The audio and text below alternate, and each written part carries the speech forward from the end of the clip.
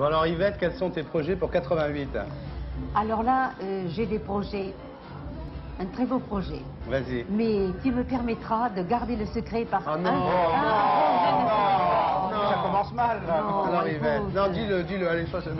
Non, dis-le, allez, non, on le dira à personne. Oh, écoute, ben... Oh non, c'est trop... Non, je ne peux pas le dire. Allait. Je ne peux pas le dire. C'est quoi? Je ne peux pas le dire. Je vais me déguiser en Charlot. Ah bon, tu vas... Ah, c'est bien. C'est ça. Je vais faire un numéro de musical. Tu vas faire... une- Ouais C'est ça. Avec Charlot qui jouera de l'accordéon, tu vois. Ah ben c'est bien. Alors, euh, ça se prépare. C'est en train de se Voilà, préparer. ça se prépare, oui.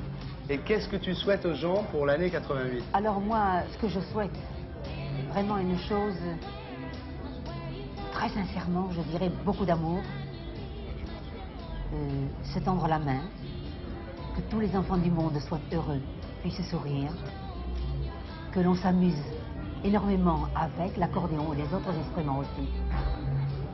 Voilà, beaucoup de gaieté. Merci Yvette. Bravo Yvette.